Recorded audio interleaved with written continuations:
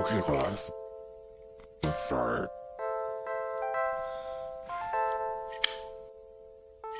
Inhale. Welcome back, everyone. This is the Citizens Prerogative Podcast brought to you by Citizen Do Good. Citizen Do Good for the sake of our republic. In times like these, being a citizen is a big job. Thank you for joining us to celebrate the virtues of self rule and the state of our republic. Welcome to the Citizens Prerogative Podcast. This is the voice of your nerdy host, Michael Piscitelli, and we are all graced with the presence of a co host whose passion for our republic precedes him wherever he goes. My dear friend, the lovely Raymond Wong Jr. So kind, so kind.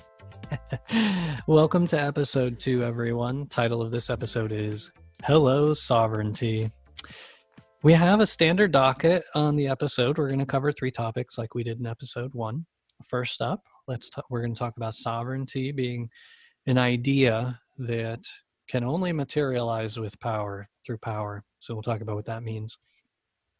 We'll also um, uh, cover our defense apparatus as being a part of our exceptionalism. So um, today, today you should know. I should have started out with the fact that today is November 11th, 2020, and it is Veterans Day today. Um, mm, coincidentally, we started recording the podcast today. We already did episode one. Um, feels good. This is episode two. We decided to dedicate it to today. Um, we oriented the themes to today and chose sovereignty, hello sovereignty, as the title of the episode because it's really the context that I think we need to think about the military in um, as we move forward when we think about the republic. So, um, anyway, back to it. So we're, we're, obviously we're talking about sovereignty today. We're talking about um, the defense apparatus, the military, and we'll close today with topic three: more than words. We need to put in the work of demonstrating appreciation for our military, um, and, and we'll talk about a little bit what that means as well in action. So, with that, let's go ahead and jump right in. Sovereignty is an idea that only materializes with power. So, for the notes that I had here, it was talking about defining the idea of sovereignty um, and what power is required to bring it into fruition. Um, you know, is it? It's weird that the Declaration of Independence worked, right? Um, it's one thing to declare yourself a sovereign state; it's another thing to enforce it.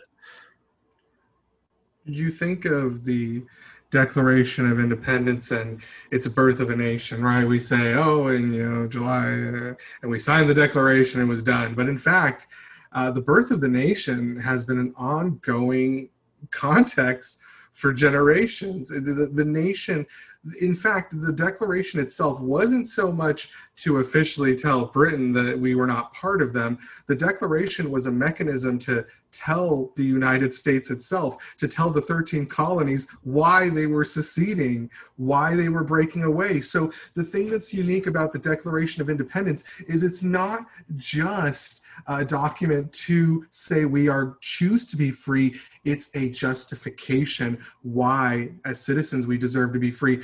Uh, we weren't writing this together. We didn't have internet. We didn't have collaboration tools right? So people that saw the declaration of independence though it was coming from the people of the united states most of them were seeing it for the first time. Ray i do have to back up one second there. That is an excellent point. Thank you um, but for anybody who couldn't hear you after you said the birth of a nation, I, I just want to set everybody right that uh, we aren't talking about lost cause propaganda. we were talking legitimately about the birth of the United States. oh, just to be clear. I found that a bit triggering. I was like, "Oh no, the birth of a nation." oh, no, That's yeah, another episode. That's a whole other episode. I speak from the heart, ladies and gentlemen. So please don't take anything. It's not a hidden agenda.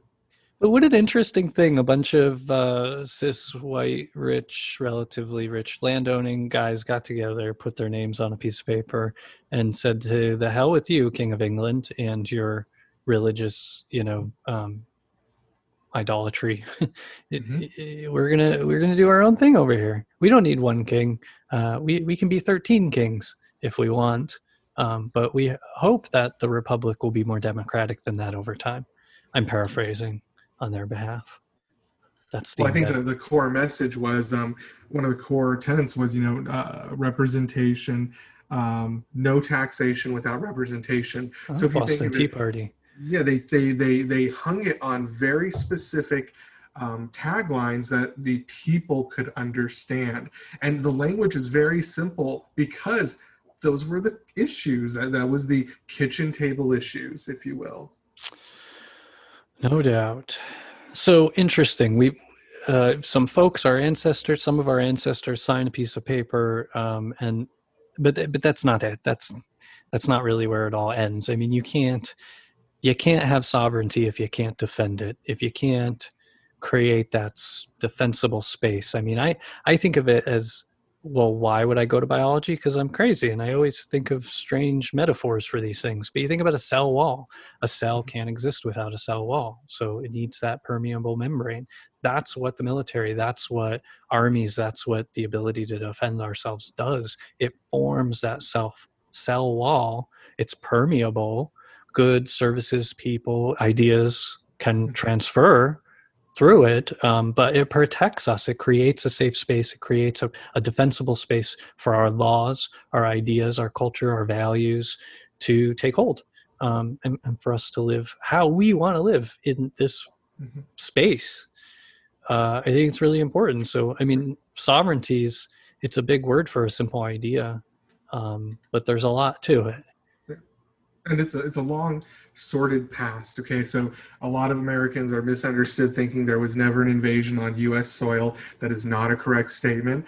Um, you have to ask you know why did we go to war in 1812 with the british? It was to express our sovereignty right? They, they were pushing us around. Their merchant ships were were pushing our merchant ships around. So it was an expression of sovereignty. Now most people don't realize the british invaded and they burned the white house to the ground and if you're 18, 1812 1812, what I tell 1912, war, thank you. war, war of 1812. I War of 1812. Michael's going to keep us as, as, as succinct as possible. Do my best. my brain goes all over the place. Um, but, you know, in that war, they burned the White House to the ground. And, and it's funny because our history books don't even cover it. It wasn't until I worked for a company that financed the repainting of the White House. It was, it was, it was, we do talk about major institutions, right? It was Bank of America, their legacy institution they bought out, repainted the White House. And that's how I learned that the British had invaded and, in fact, destroyed it. Now, you can blame my lack of attention in maybe history class, but I, I'd rather blame the history class because education is not inspiring in this country. Oh, we're gonna have. Oh, that's another episode. Don't you worry. I've got. We've got a lot to talk about. Education, uh, air quotes, on that. oh, so fun. Um. So here I was just noticing, you know, our country, try as we may, try as we might, we just can't seem to get the army just right.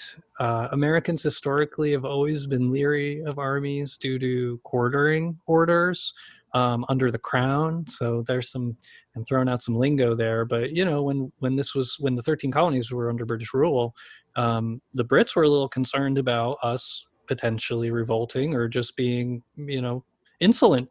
Uh, Law and Order, the original Law and Order, had British military officers living in our homes inside our homes. They, they you had to you know your whole family lived in one room and they got to occupy another and they got to come and go freely and then they could keep an eye on your conversations who you're transacting with who you know they it, it was horrible. I didn't live through it um, but i can i'm empathizing with it as i'm talking about it and i uh, can definitely understand why americans were always leery of, of armies you know with the early experiences of quartered having them quartered in their homes um, but you know, our militians, our militia were the thing of early settlement. So I mean, they they've been here with the original settlers to defend their occupied lands from native peoples.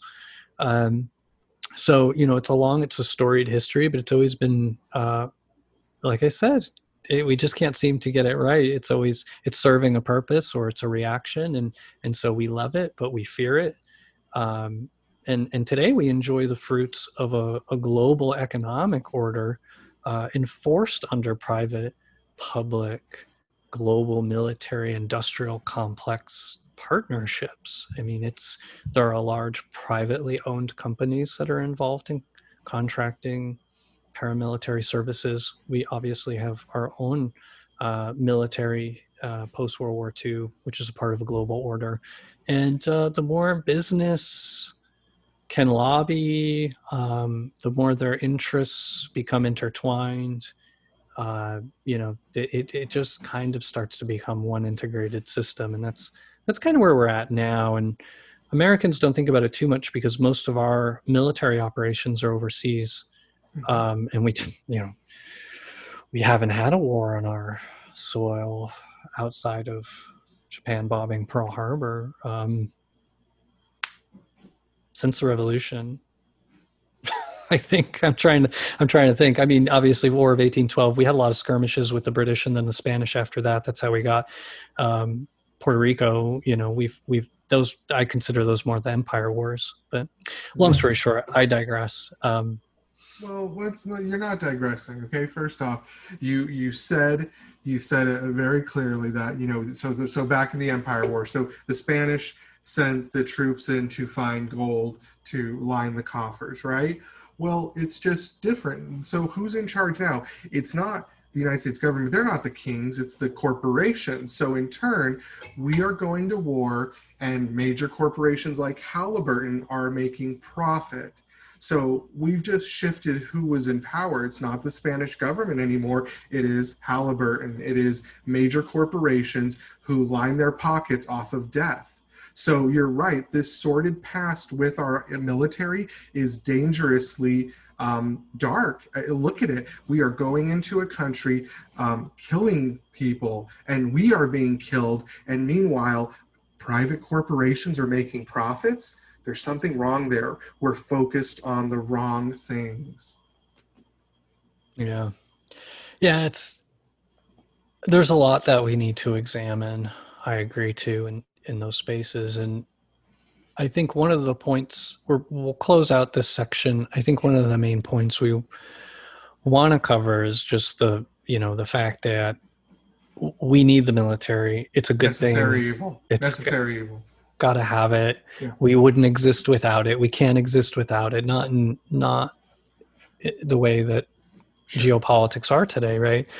So we will always advocate for military. We will yes. always advocate for what makes sense for the purpose of the military to maintain the cell wall for the sake of our republic. To provide the common defense. That will, anything that's in the Constitution is part of what we are fighting for, folks. And guess what? The common defense is as clear as day. And that's where the military comes in. And that's where sovereignty comes in. So normally this is going to be the, this would be the part of the episode where we have a nice mid roll and uh, we cut over for a sponsorship a sponsorship notice except I haven't actually properly queued that up. Um, so I'm going to cut over to one I already had. Here's a message from our sponsor, Citizen Do Good. Fulfilling a dream where all possess an intricate love for self rule that is reciprocated with equal justice under the law? Those are the values that Citizen Do Good believes in. We believe in all of the amendments, including the Constitution, and all of the amendments that have yet to come that help to make this a more perfect union. Um, so we're asking you to support our sponsor, Citizen Do Good. Head over to citizendogood.com and uh, go ahead and sign up. You can join our mailing list and stay up to date on the latest news and announcements. You can also um, become a supporter through our Patreon and you'll gain access um, to behind the scenes content that uh, um, the unpaid subscriptions uh, don't send out and you'll also be invited for um, feedback sessions and you'll get discounts at our shop um, while you're there, uh, check out the shop. See if there's any merchandise that tickles your fancy. Um, please feel free to purchase any of those items. It'll support us and help us a long way. And if there's anything out there that you'd like to see that you don't see, go ahead and drop us a line. Make sure you join in the community and leave a comment. Um, there's a contact us page also at citizendogood.com. Thank you for your support.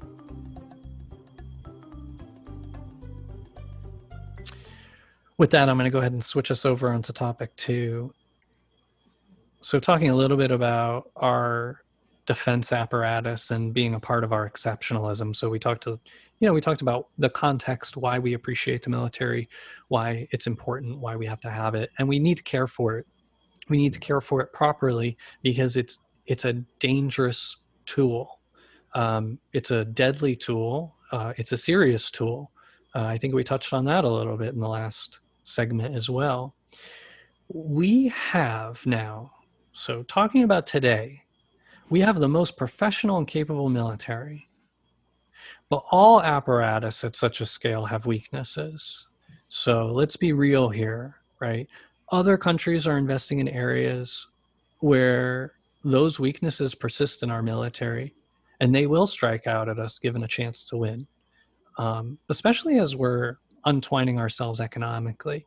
One of the big ideas coming out of World War II after Bretton Woods was we would create a global economic order that would help ensure peace and prosperity because when you're doing business with people, you tend to not want to shoot them.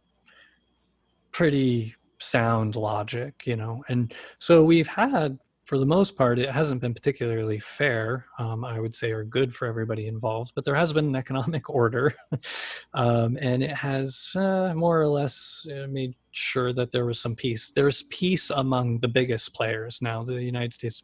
We'll talk about war execution elsewhere another time. Um, but right now, we're just talking about the economic ties, and those coming undone, say, with Russia and China and and other major potential powers or regional power players you know if if we aren't going to be so twined economically then it's going to increase the probabilities that we will have armed conflict. And who's to say that some people aren't planning for it anyway regardless of what economic ties there were?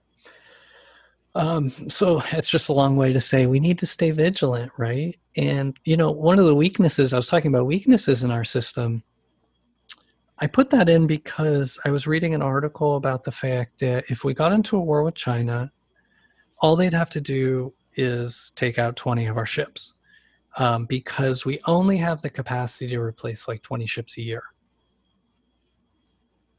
like we do not have the building capacity that we once did. Now there's a whole bunch of statistics and numbers around that but ultimately the point of rattling all of that off is just to il- illustrate the fact that we've rested on our laurels and resting on your laurels is not planning or building for the future People need historical context. Okay, the Bush administration, who was uh, the uh, that did conduct a good amount of war based on historical fact. We do discuss historical facts here at at uh, Citizen Do Good and uh, at Citizens Prerogative.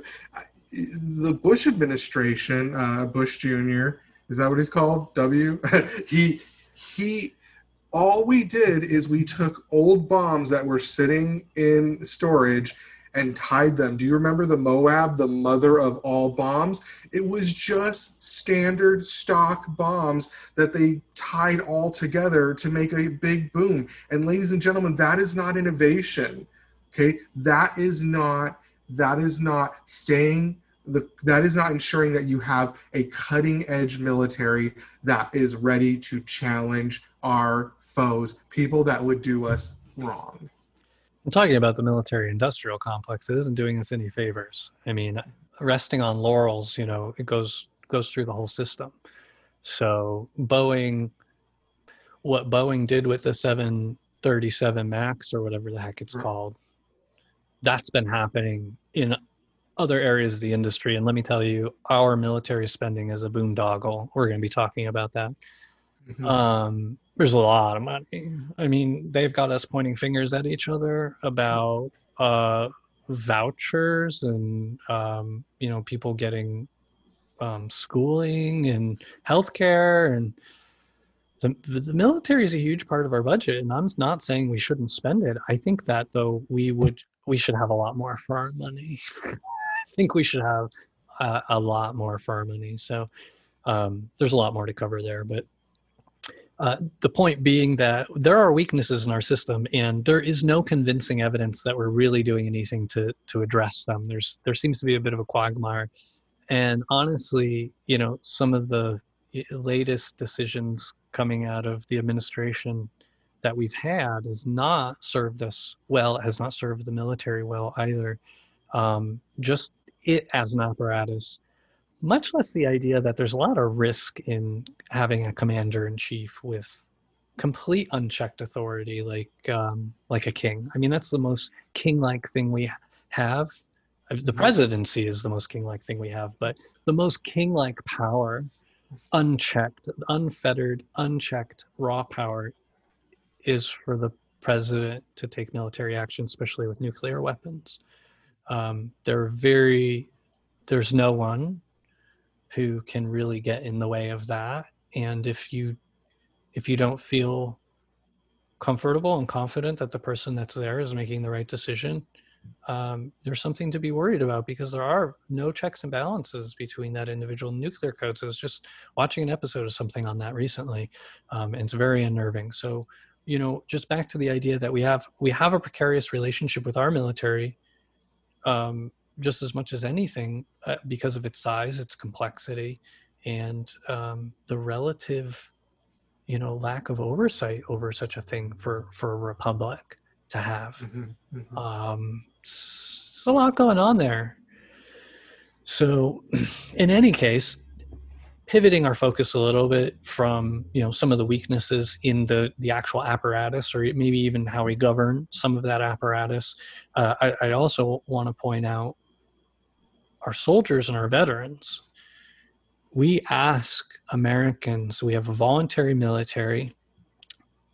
People join of their own will and we do not necessarily take care of them well treat them well. Um, there's something to be said while you're in the service what is good treatment or you know what what should be experienced because it's it's a unique thing to go through. It's not civilian life obviously uh, but especially on the veteran side of things because at least the military treats active soldiers as an asset and invests in them as an asset. It does not have the same view about our our veterans. And by extension we don't. Like if our government does not treat veterans well we are not treating our veterans well. We you me us. And that's a problem because we spend again a ton of money the question uh, is why like you said spending money. why do i pay taxes if if you if it is on the citizens um, if we're supposed to feed and care for our veterans individually then stop taking my money stop taxing me so i have that capacity yeah, give me the fund to, to divert my resources to. I mean, I much rather it come out of my taxes. I much rather, you know, everybody's oh, yeah. Paying their fair share. And we know that it's being covered because the government is backing the expenses. But I totally agree. I, you know, I, it's frustrating. That's a, that's a very frustrating black box. And, and we do, we, we are going to um, come back with actionable steps that people can take um, to help improve this. I mean, for now, I think we can just raise the awareness or continue to not let the awareness um, fade away too much because there's a lot going on right now. But today is Veterans Day. It's important to cover that. This won't air on Veterans Day, but that's maybe the best part about it, right? Um, not worrying about homeless people only on Thanksgiving, not worrying about you know people in need. And I don't mean to equate veterans with homeless, but you know what? America has a problem with that.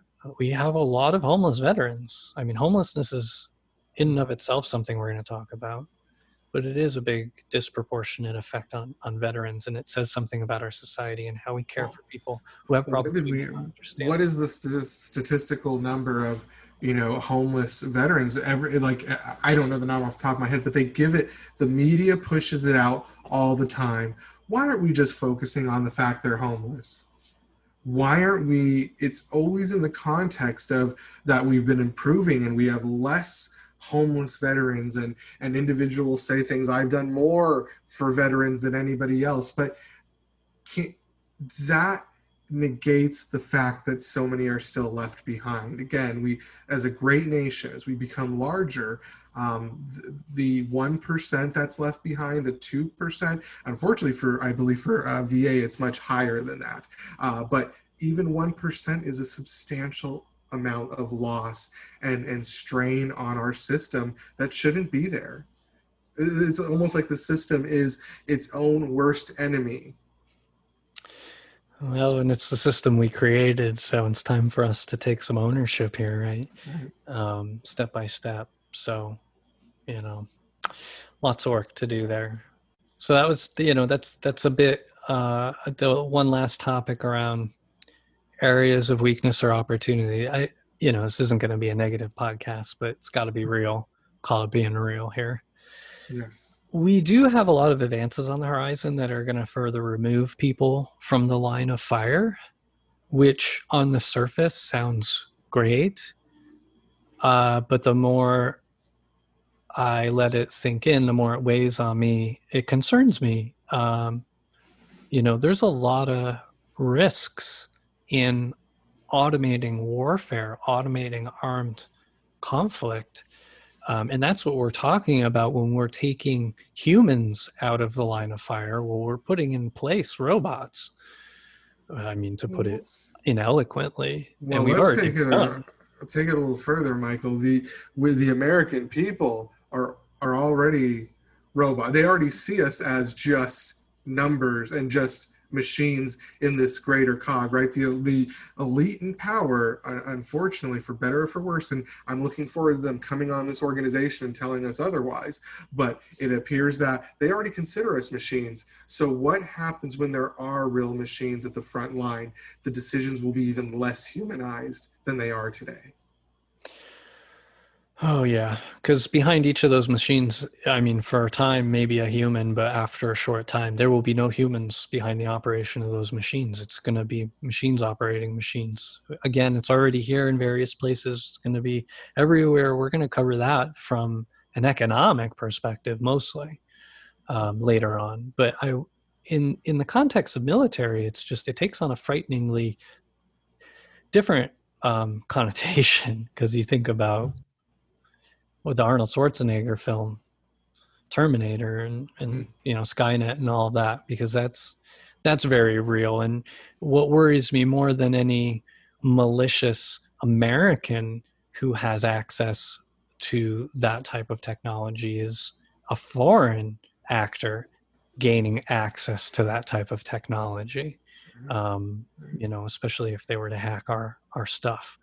And so we are not conspiracy theorist people uh, let's be very clear you know i know michael did reference a, a, a terminator-esque era that you know that is possibly real but these are based on facts and, and the fact of the matter is that we have turned on AI technology companies like Google, IBM, etc., have turned on AI computers that invented their own language because they saw our language is inefficient they saw the BIOS language as inefficient. So they created a new language and they had to turn the computers off because we didn't know what they were saying. So it's not, this is not some uh, um, conspiracy theory or it's not um, out of the realm of possibility. Um, things are moving fast, technology is moving fast. And if we remain, um, asleep at the wheel, like we said early on, um, you are going to be shocked when you're blindsided. Yeah, things are changing exponentially. I think Ray Ray Kurzweil is famous for talking about something. I don't think he coined it, but he calls it the singularity, um, and it's the point at which the rate of change happens so fast we can't even perceive it. you know, it's kind of happening beyond our capability of even knowing it's happening. It's, you know, it's a it's an interesting risk. And one thing I want to throw out there is that you mentioned in that anecdote about having to interrupt the two AI bots that were chatting. Um, yeah, in the United States, we interrupt them. I believe, though, in other nations, maybe like China, they don't interrupt those bots. You know, maybe they don't have the same sense of um, concern or apprehension or or you know anything like that maybe they're more concerned about being first to it i mean that's the first that was the first you know theoretically the first time any cloning of a human was ever done and i think they they arrested him. Yeah. um, yeah but you know it's they, they're they're they're very in china i believe is very interested in being on the cutting edge to prove themselves you know and it makes sense when you look at history. We're not going to go into it now but um again every you want to know why? Oh why is it? Why is it? Why is it? Well you can go back you can generally find that there's a trend somewhere there's a pattern somewhere um in history so there's some cause and effect at play behind all these things so. You know but like we we don't want you to to fall into a dark web or a QAnon conspiracy just because you're trying to find answers, ladies and gentlemen. Um, Citizen Do Good is not here for you to go hunt up the answer and bring it back to us and, and create an argument. Um, actually, we're trying to invoke forward thought. So initially, we're going to be asking challenging questions. We're going to bring challenging ideas, and that's because we want to invoke a very passionate argument and debate about what the future holds for our union. So think of this as a space we're not going to go down the rabbit hole of facts and see who can who can dominate in the dog pile of history. Uh, instead, we're going to open up these sores, and some of you may be very offended by some of the stuff we said, and that's good. That's where the conversation comes from. And the point is, we're going to continue to lean into it respectfully and as philosophers, as the as the founding fathers did. We all are philosophers. I want people naked with robes on, of course, um, and and talking about uh, the future and what it takes to make this run. Our sovereignty counts on engagement at all levels. I think you can sum it up: the military, um, education, just just across the board. Totally.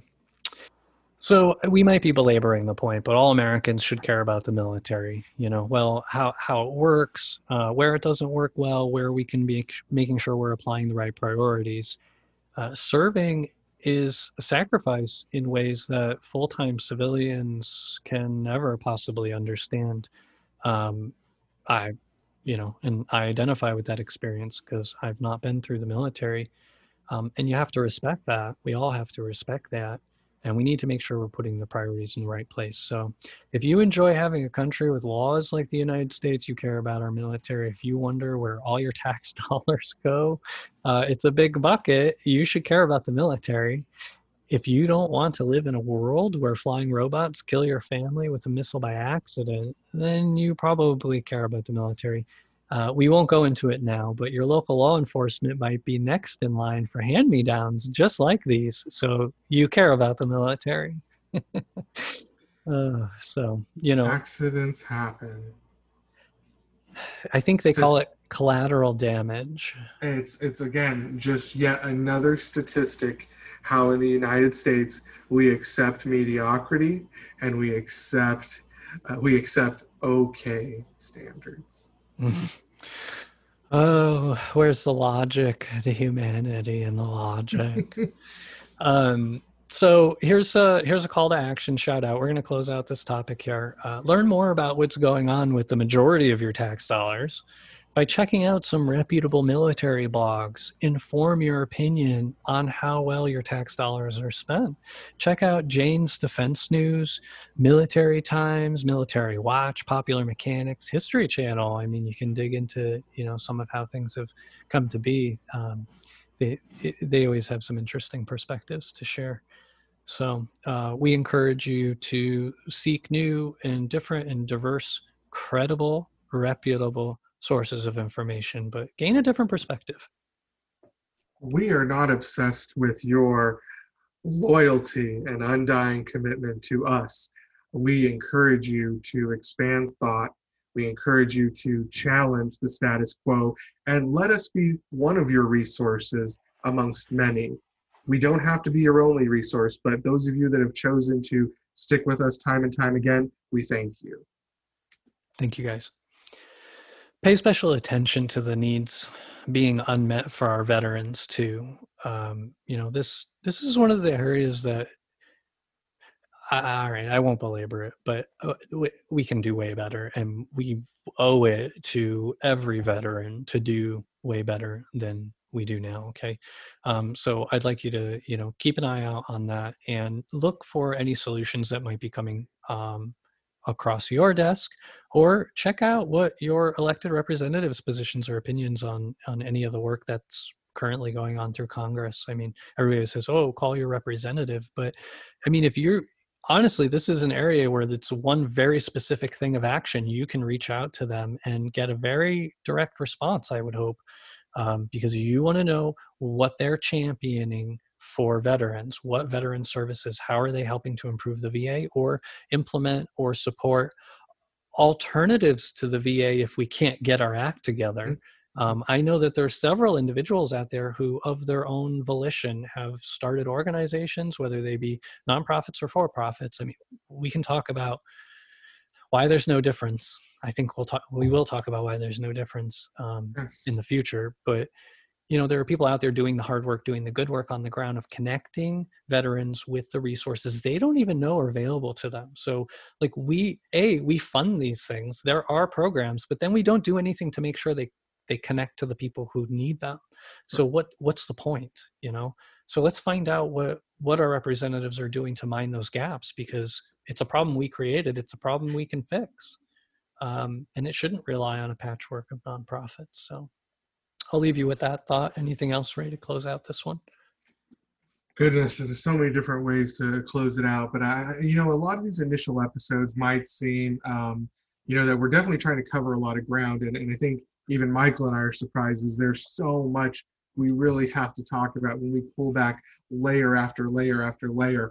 I want to stress to our new listeners that this is a journey, a journey we intend to have with you, and a journey that we expect to be robust and vibrant and and very engaging in the sense that um, it's it's very easy for uh, someone to say call your congressman. It's very easy for someone to say uh, write a letter action action action. But right now what we actually need is a robust conversation on what we want. When people sit down and you say what do you want? If, if you had the chance the president pulled you in the room right now and he said what do you want? You've got your chance. Go.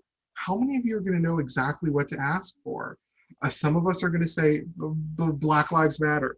Some of us are going to say that all lives matter. Some of us are going to say that blue lives matter. And that's a problem, ladies and gentlemen. That is not a need for your family, your friends, or anything. That is a tagline and that is propaganda. And that's where we live. We are mired in propaganda. Our organization is here to cut through the fog and find the answer and start to coordinate a unified message wouldn't be shocking if we actually got on the same page as Americans. And as long as we're not on the same page, the people in power remain in power. So get out of your own way, America. Michael and I don't know if we are the solution, but we're willing to try. We're willing to say, can we all get along? I think we can.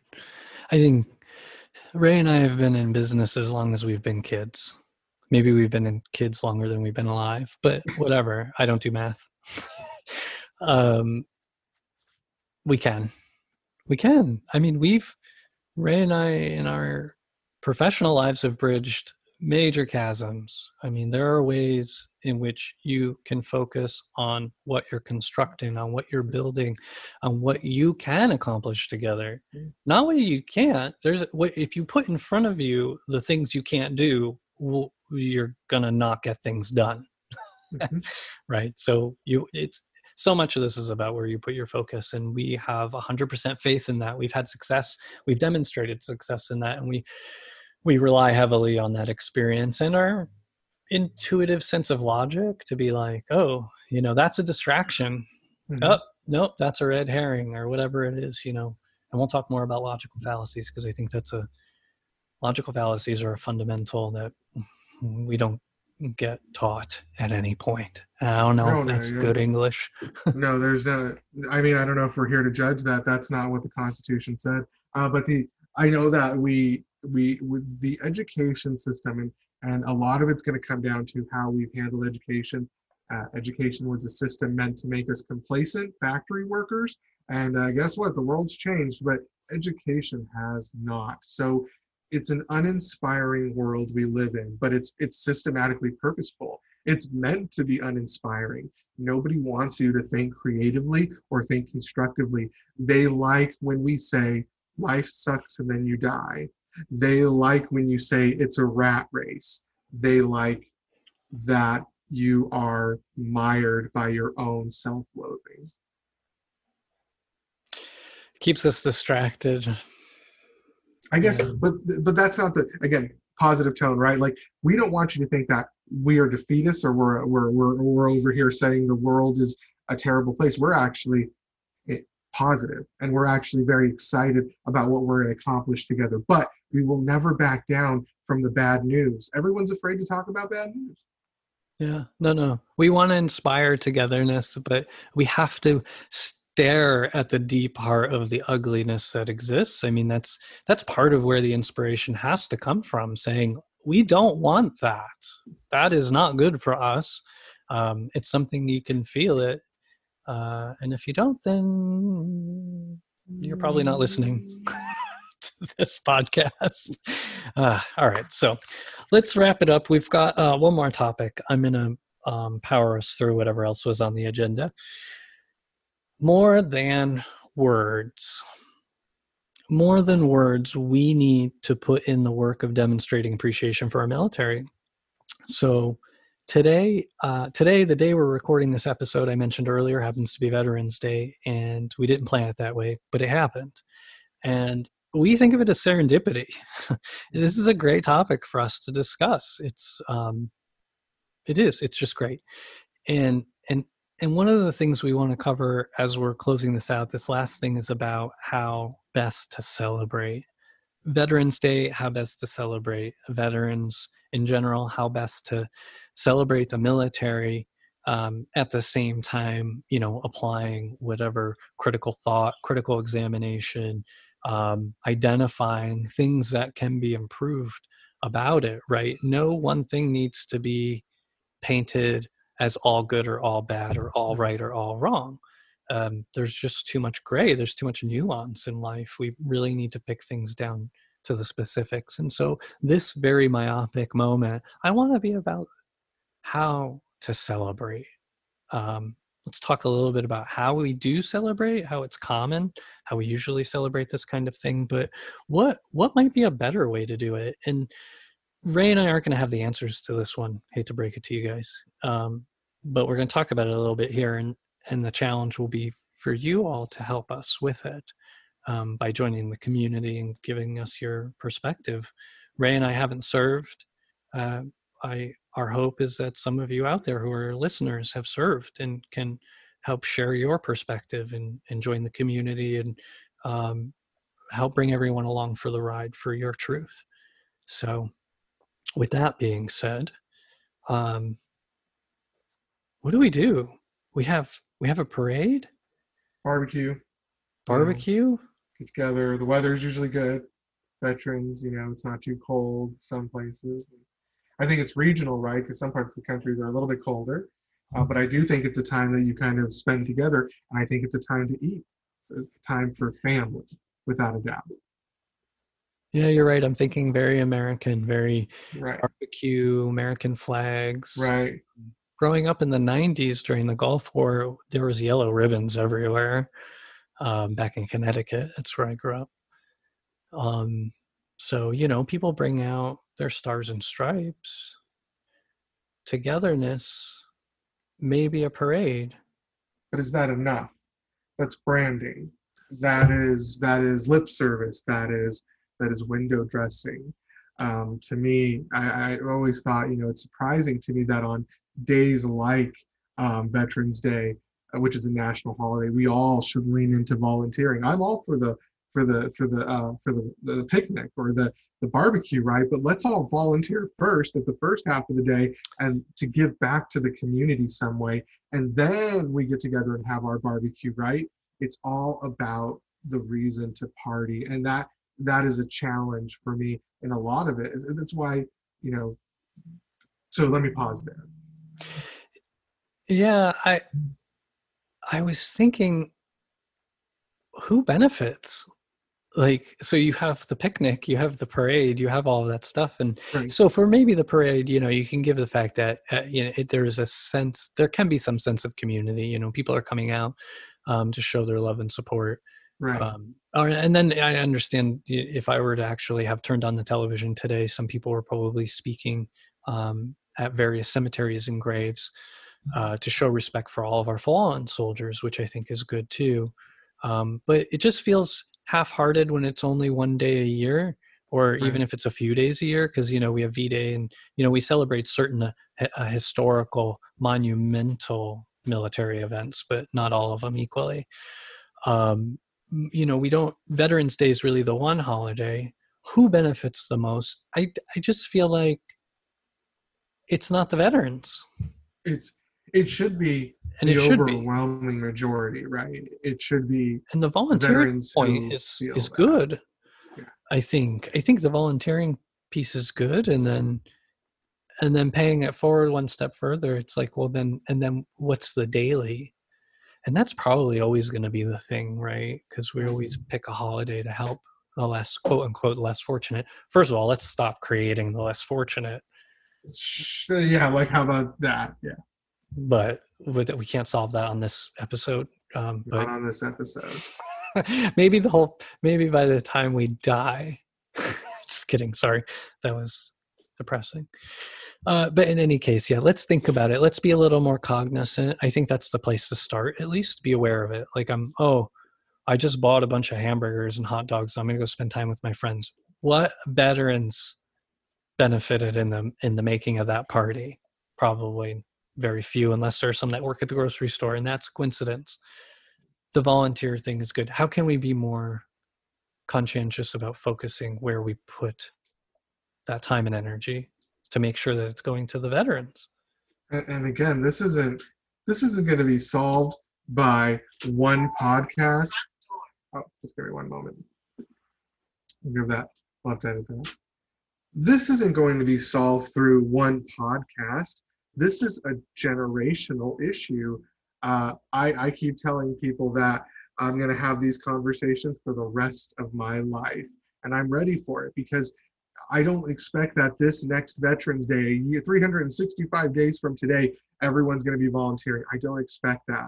But I'm hoping in 365 days, you will be having conversations with your family at that barbecue that you didn't. Like, hey, you guys, have you ever thought about maybe we should volunteer? Or, or maybe you just invoke um, a philosophical conversation, which is really what we want, which is, hey, do you think we do enough for our veterans? Or, or what, maybe go around the table like you do at Thanksgiving and say, hey, uh, uh, what does Veterans Day mean to each of you?